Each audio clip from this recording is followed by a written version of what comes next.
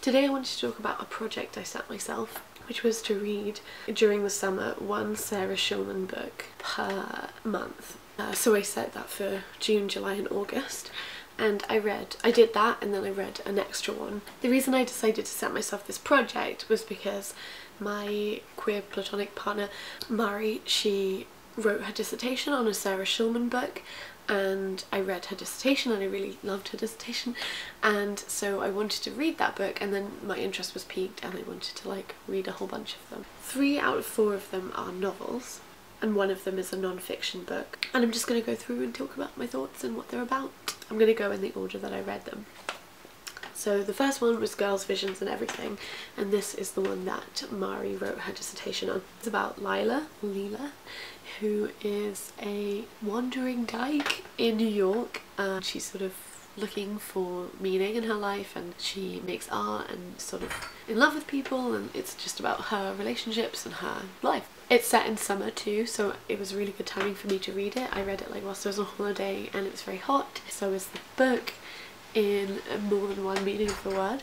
It's just a really lovely like exploration of this like one lesbian's life and experiences. So I gave this five stars and I would definitely recommend it. Out of all of the novels I've read of hers, I would say this is probably the best one. It's really fun and it's quick to get through and it's full of hot dyke sex, so why wouldn't you pick that up? I felt a bit ambiguous about the ending, but I actually think that gave the book a bit more depth than if the ending happened in a different way. I don't want to give anything away. So there's that. Well, after Girls, Visions and Everything, I read After Dolores, which looks like this a on the front cover it says it's a thriller. I don't normally read thrillers so like i didn't go into this thinking i would like love it that much but i also obviously had just had read girls visions and everything in june so i was like thinking it would be good.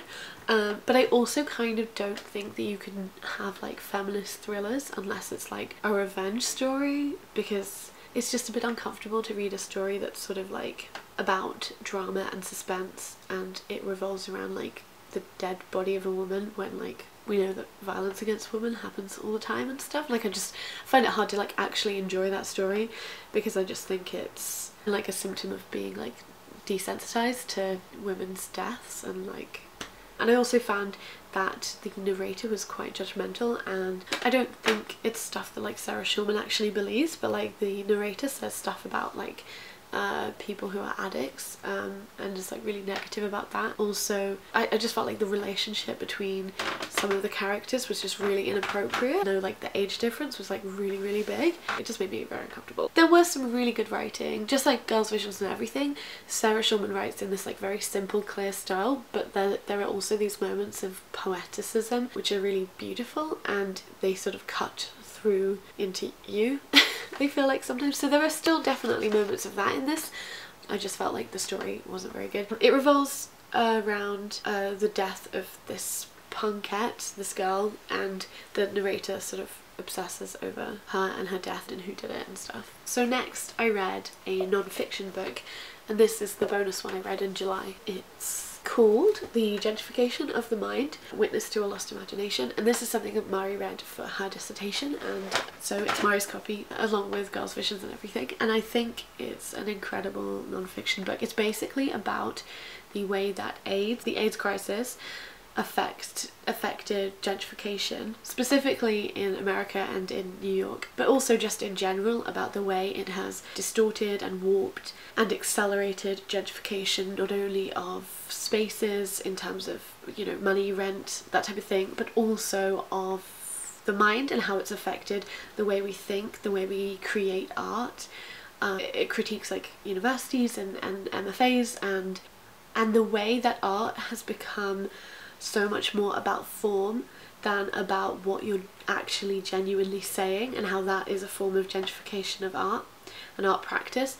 And I really really liked it. As somebody who's like uh, interested in art and also who makes art and maybe it would be an artist is artistic I thought it was a really important thing for me to read as well as just like it's so interesting and like it, it's obviously very very sad and devastating because it's literally about the way that you know there were these neighbourhoods of gay artists and they just died and their art and their presence in an artistic scene is then lost forever and ever and that irreconcilably affects culture and how it was made and created and sustained.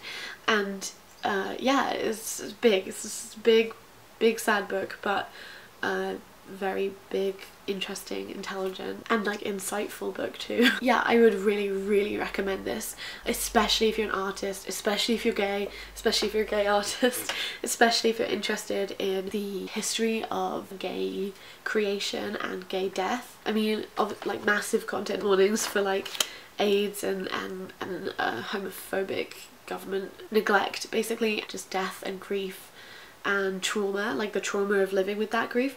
Um, at the beginning, the introduction, Schulman talks about this like disconnect between queers now and queers then, uh, and especially like the queers that survived.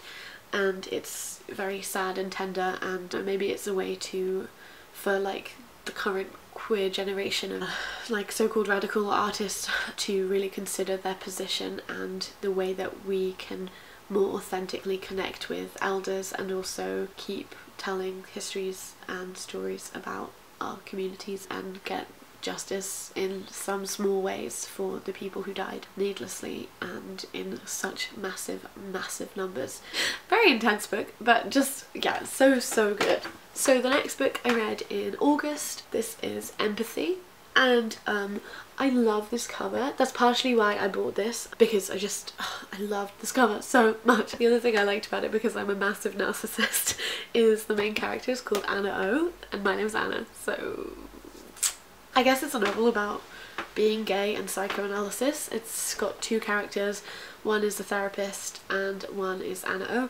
It's a weird fragmented experimental novel. It sort of maybe fits a little bit into the vein of like Kathy Acker's writing. So this book is sort of about self-exploration I guess and you know psychoanalysis and also families and our relationships with our families. And I'm not a fan of psychoanalysis so that was interesting for me. It does come out okay in the end. I thought this was better than After Dolores and again there is that like really amazing prose that catches you up in its beautifulness and like catches you up and sort of like surprises you in this casual way with really like lyrical sentiment and truthful observation. Um, this is also told in like different forms. The reason why I would say it's a bit like Acker or like experimental hybrid writing is because there's like scripts. This is like a script of a scene and there's also like uh, an essay at one point. This is more script. I, I wouldn't really recommend this unless you like psychoanalysis I guess and you want to read about it from like a lesbian perspective.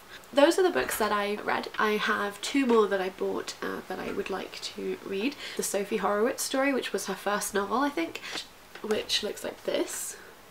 It's about a reporter on the trail of radical feminist bank robbers.